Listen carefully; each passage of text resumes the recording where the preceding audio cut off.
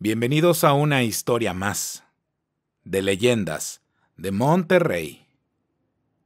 Las sombras del pasado a menudo encierran secretos insondables, desatando fuerzas más allá de la imaginación, que trascienden la comprensión humana, desafiando la lógica y dejando una huella imborrable en aquellos que se aventuran a desentrañarlos, como es el caso de la siguiente historia.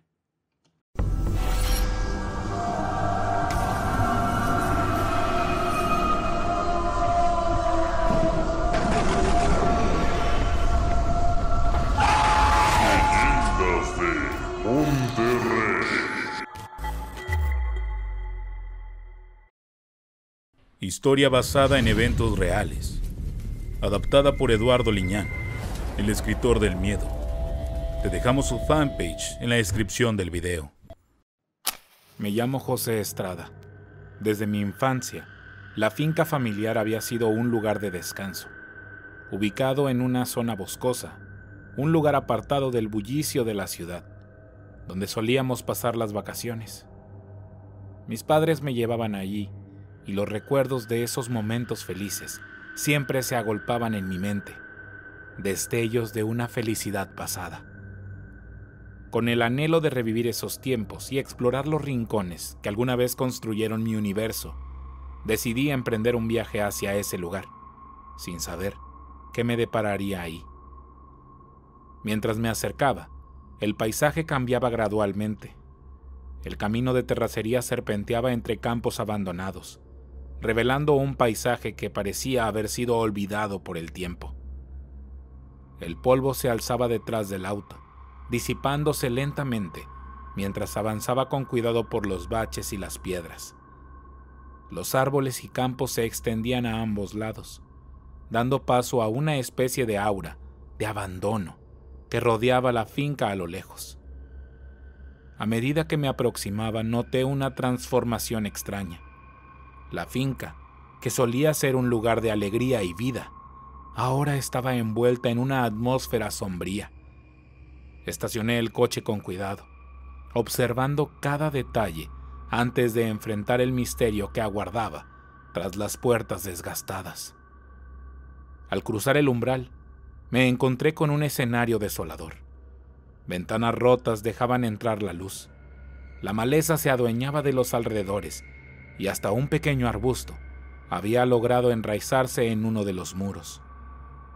La finca parecía haber sido devorada por el abandono, y esta percepción inquietante se intensificaba a medida que exploraba más.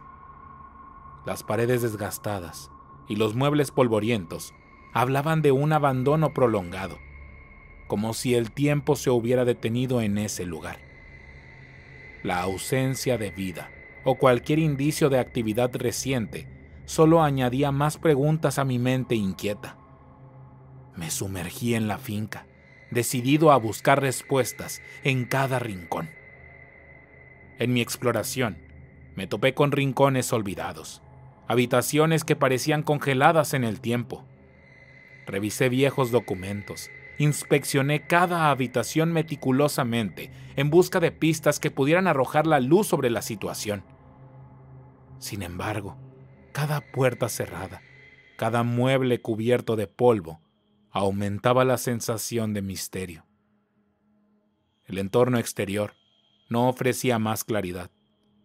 En el paisaje solo divisaba campos y algunos caminos a lo lejos pero ningún alma a quien preguntar. La sensación de soledad se acentuaba y la incertidumbre crecía a medida que pasaban las horas.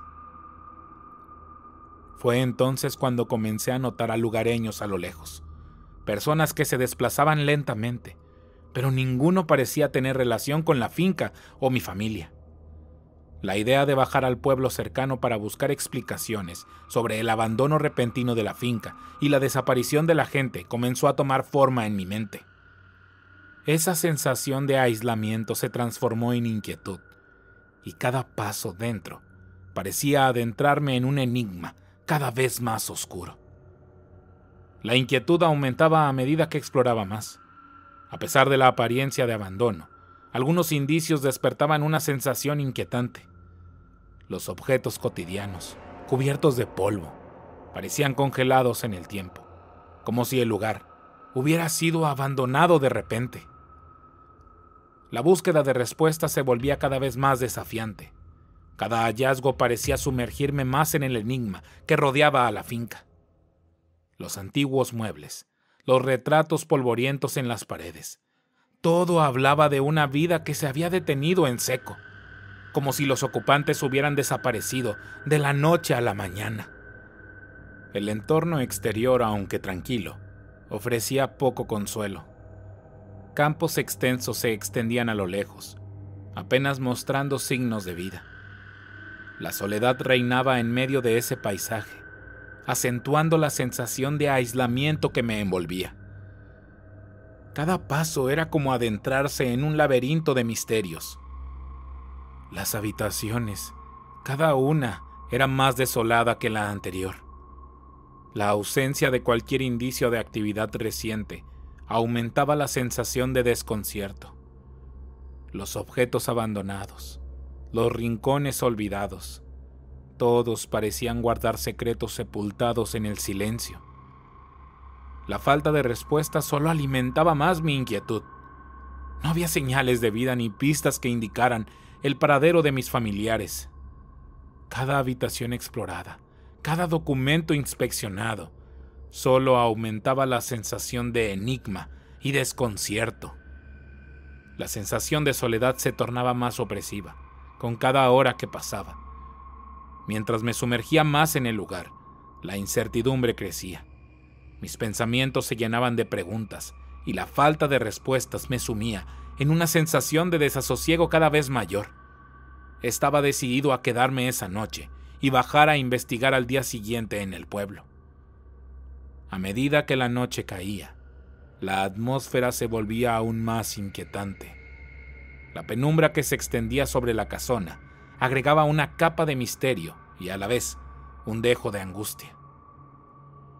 La ausencia de vida o cualquier indicio de actividad reciente acentuaba mi sensación de soledad y preocupación. Entre la oscuridad y el silencio, los ruidos inexplicables se volvían más evidentes. Golpes sordos resonaban en los rincones. Sombras se desplazaban en la penumbra, alimentando mi creciente temor.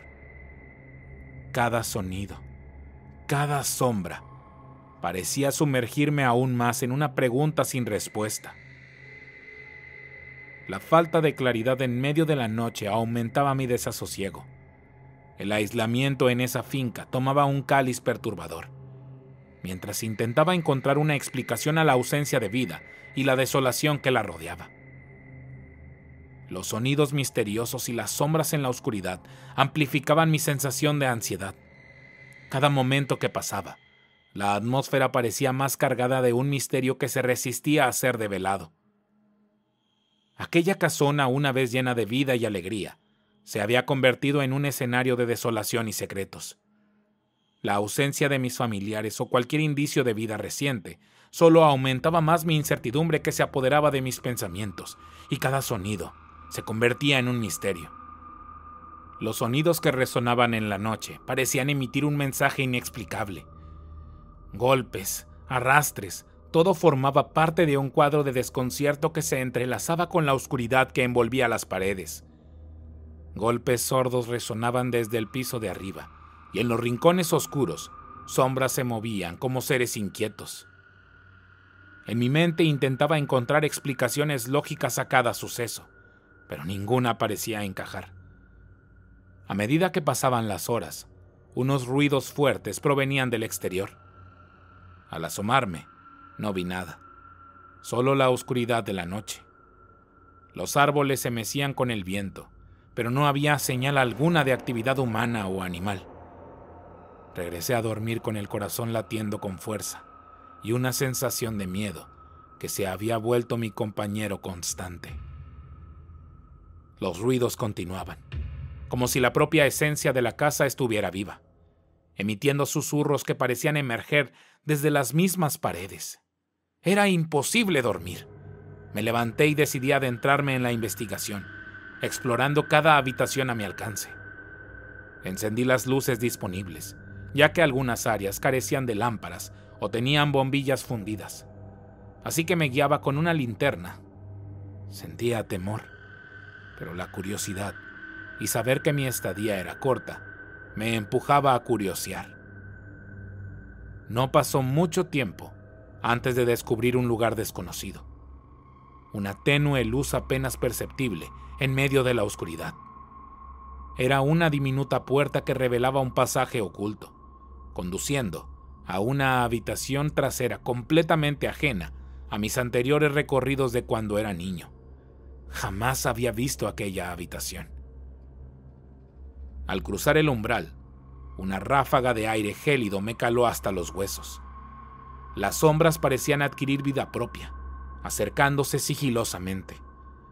Experimenté la inquietante sensación de ser observado, una presencia indescriptible que no solo me estremecía, sino que también me impulsaba a huir. Sin embargo, las puertas y ventanas permanecían inexplicablemente bloqueadas. Fue entonces cuando entre el miedo y la desesperación encontré un antiguo diario. Sus páginas amarillentas narraban historias de tragedias pasadas en la finca. Un ritual de purificación estaba descrito en las páginas. Una última esperanza para calmar los espíritus atormentados, según decían las palabras en las páginas. La lectura de aquel diario, narrado por mi prima Roberta, fue como adentrarse en una pesadilla hecha realidad. Cada palabra escrita revelaba un horror indescriptible, una historia de rituales oscuros y magia negra que desataron una entidad maligna en la finca. A medida que pasaba las páginas, sentí un nudo en la garganta. La prima relataba cómo aquellos rituales invocaron algo más allá de la comprensión, desencadenando una presencia que se apoderó de la vida de la familia. La entidad como una sombra insidiosa, acosaba sus vidas, consumiendo lentamente su cordura y llevándolos a un destino aterrador. Algo los obligó a matarse entre ellos y fue trágico. La angustia y el terror que debieron padecer cada miembro de la familia estaban plasmados en las páginas amarillentas del diario. La prima en su relato describía una desgarradora angustia de cómo presenció la caída de sus seres queridos ante la oscuridad que se cernía sobre la propiedad. Al llegar al final del diario, comprendí que ella fue la única superviviente de aquella tragedia. Según sus palabras, enterró a su familia en lo más profundo del bosque, enfrentando sola el tormento y la desesperación. Refugiándose en la finca en un intento de huir de la oscuridad que había invadido el lugar. Esta revelación intensificó la sensación de inquietud, ofreciendo una explicación aterradora a los sucesos inexplicables que había presenciado desde mi llegada. Aquella finca, alguna vez llena de vida y alegría, se había convertido en el escenario de una tragedia desgarradora, desatada por la ambición y el deseo de poder, desencadenando un horror más allá de cualquier imaginación. El aire se tornó denso de repente, y un sonido diabólico llenó el lugar, como si el mismísimo infierno se hubiera desatado en aquel rincón olvidado. Una sensación horrenda me invadió, y supe que algo andaba mal, pues estaba solo en la penumbra. En ese instante, una presencia aterradora tomaba forma ante mis azorados ojos. Era una figura amenazante que parecía adoptar la apariencia de mi tío pero distorsionada, con una perversidad palpable en su mirada. Mis pies, en un instinto de supervivencia, buscaron escapar de aquel horror, pero la presencia se materializó en movimiento y me envolvió con una bruma densa, una especie de torbellino que me desorientó, haciéndome dar vueltas y perdiendo completamente la noción del espacio.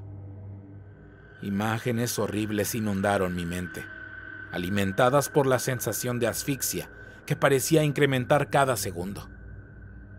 En el momento en que todo parecía perdido, cuando la oscuridad amenazaba con devorarme por completo, una mano firme se posó sobre mi hombro. un rayo de esperanza en medio de la desesperación. Al enfocar mi mirada, descubrí que era mi prima, quien emergió de la neblina. La sorpresa y un montón de preguntas se anidaron en mi mente al comprender que estaba siendo rescatado, y solo me dejé llevar por su mano callosa. Temía que esto también fuera producto de mi imaginación, pero en ese momento no tenía una sola idea de dónde estaba y hacia dónde iba. Con un esfuerzo casi sobrehumano me alejó de aquella presencia que intentaba sofocarme, rompiendo el influjo de la presencia con una determinación que rayaba en lo heroico. Me sentí arrastrado lejos de aquel peligro inminente, y la presencia se disipó lentamente como si temiera la luz que ella llevaba en una brillante linterna. De pronto me vi en el exterior y caí al suelo, agotado y temblando, pero a salvo. Mis pulmones se llenaron de aire con un alivio profundo, mientras mi prima, con ojos preocupados, me ayudaba a reincorporarme. En su mirada, aún podía ver el rastro del terror que ella misma había enfrentado, pero también la fuerza que la llevó a rescatarme de aquel abismo. Agradecí en silencio su valentía y determinación. En medio de aquel caos, su presencia fue el faro que me devolvió a la realidad salvándome de un destino incierto a manos de aquella entidad que amenazaba con hacerme daño. Luego de recuperarme, la prima me condujo hasta un cobertizo apartado de la casa principal. Estaba escondida ahí, en una cisterna seca que había convertido en su refugio. Había permanecido invisible para mí, permitiéndole observar lo que ocurría en la finca. Su rostro reflejaba un miedo profundo, y una sensación de impotencia. Ella también pensaba que yo era una alucinación, pues tenía mucho tiempo de no saber de mí o de mis familiares. Era cautelosa, pero en cuanto escuchaba la situación que me envolvió, corrió a salvarme del peligro. Afirmaba que temía por su vida y sostenía la creencia de que el mal que había asolado a la familia recaía sobre ella, como la última sobreviviente sostenía la responsabilidad de retener a esa entidad oscura que su padre había desatado al conjurarla para fines egoístas y cegado por la ambición. Nunca se imaginó lo que desataría, pero no sabía cómo deshacerse de esa cosa diabólica. Para ella, todo en aquel lugar estaba marcado por una maldición, y sentía que ese era su destino inevitable. Había intentado huir, escapar de ese horror. Pero esa presencia oscura la perseguía a todas partes, lo que la llevó a concluir que estar encerrada en la finca era la mejor opción. Sus palabras hacían eco en mi mente, desafiando mi comprensión y desatando un torbellino de preguntas. ¿Cómo podía ayudarla a liberarse de esta oscuridad? La acompañé en silencio, tratando de asimilar lo que me contaba y buscando desesperadamente una salida de aquel horror que la acosaba sin tregua. No sé en qué hora de la madrugada, el caos en el cobertizo parecía reflejar la locura que se desataba afuera. Los sonidos eran como pasos desenfrenados, chillidos y murmullos que se confundían con las voces de seres queridos muertos. Eran sonidos que desgarraban los sentidos. Roberta, con una serenidad imperturbable, me instaba a mantener la calma, a no ceder ante esas voces que intentaban engañarnos, asegurando que era el mal queriendo penetrar nuestras mentes y hacernos salir para atraparnos fuera de ese lugar aparentemente seguro. Fue entonces cuando desde una rendija el rostro distorsionado de mi tío apareció. Profería insultos y demandaba nuestra salida. La prima, con una determinación mezclada con miedo, agarró un objeto cercano y lo golpeó con fuerza, haciendo que el rostro retrocediera entre gritos desgarradores. La sensación de pánico y confusión era abrumadora. Mi prima me aseguraba que teníamos que esperar a que amaneciera, pero el asedio de los horrores que nos rodeaban eran intolerables. No lo pude soportar y el miedo fue más grande que mi cordura, y tomé la decisión de intentar escapar. Abrí la puerta del cobertizo y me encontré con una escena surreal. Sombras moviéndose con una agilidad inhumana, criaturas retorcidas que parecían sacadas de pesadillas. Tan solo corrí entre las sombras, esquivando lo inexplicable, tratando de llegar a mi vehículo para huir, y cada paso era una lucha contra el miedo que parecía materializarse en cada rincón de aquel patio. La prima con determinación salió detrás y me guió hacia la salida, enfrentando esas presencias, oscuras con valor y determinación. El aire estaba cargado de una densidad sobrenatural, como si el mal mismo estuviera presente en cada espacio que intentábamos recorrer. A pesar de su firmeza, ella también mostraba señales de agotamiento y terror, pero no se permitía flaquear. Apenas logramos alcanzar el coche, arrancamos con la esperanza de alejarnos de aquel tormento, pero incluso en el trayecto, las sombras y el horror parecían empeñados en impedir nuestro escape, como si intentaran sacarnos del camino y estrellarnos entre los árboles. Roberta, con una firmeza que asombraba, repetía una y otra vez, Sigue adelante, no mires atrás. Aceleré al máximo por aquel camino accidentado, ignorando la tentación de voltear, manteniendo la vista fija en el horizonte, buscando desesperadamente el alivio que la carretera principal prometía. El terror se había adueñado de cada fibra de mi ser, pero la voz de la prima resonaba en mi mente. Finalmente, llegamos a la carretera principal. Parecía un mundo diferente, tranquilo, con vehículos transitando en ambas direcciones. Mi prima, con una serenidad inexplicable, bajó del coche y se despidió, con un gesto de determinación. Me sorprendí cuando me dijo que debía regresar a pie a la finca. No debía alejarse mucho, y me pidió que continuara y no regresara más. Debía olvidar todo y dejarla continuar. Ese era su destino. Tan solo me quedé ahí, viéndola perderse en el camino, con una sensación de incredulidad y miedo que se aferraba a mí. Regresé a casa con el peso del terror a cuestas, sabiendo que aquella experiencia, esa noche de pesadilla, jamás se desvanecería de mi memoria. Era un recuerdo que, por más que quisiera, no podría olvidar jamás. Si te gustó la historia, dale like y compartir. No olvides darle clic en la campanita para avisarte cada vez que tengamos un nuevo video. Mi nombre es Jonathan Espinosa y esto es Leyendas de Monterrey.